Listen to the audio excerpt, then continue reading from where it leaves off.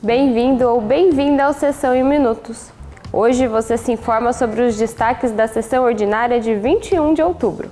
Vamos lá? A gente começa falando das votações da noite. No pequeno expediente, foram lidos e aprovados dois requerimentos de pesar, 40 requerimentos e quatro moções.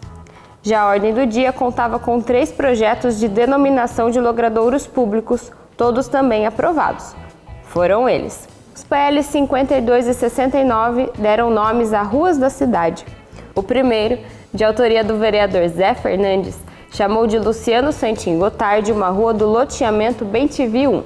O segundo, de autoria do vereador Carlos Trigo, denominou de Antônio Sanches de Araújo, Tony, uma rua do Porto Side. Ainda aconteceu um feito raro aqui na Câmara.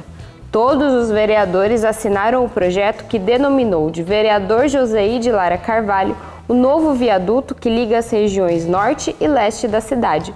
Diversos deles se manifestaram durante a homenagem feita ao ex-colega de plenário. O grande expediente Aquele momento que os vereadores falam de temas livres na tribuna foi suprimido a pedido do vereador Isaías Colino. Mas tivemos tempo para uma tribuna livre. O espaço foi ocupado pelos pedagogos Silvio Miranda e Andréa Gomes, que falaram dos 100 anos da pedagogia Waldorf.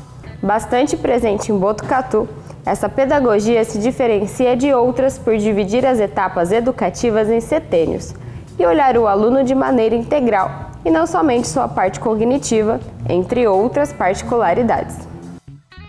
Além da sessão ordinária, nessa semana estão rolando diversos eventos aqui na Câmara, como audiência sobre cooperativismo e debates sobre o orçamento municipal. Tá ligado nisso tudo? É só acompanhar a TV Câmara para você se informar e ficar por dentro do seu legislativo.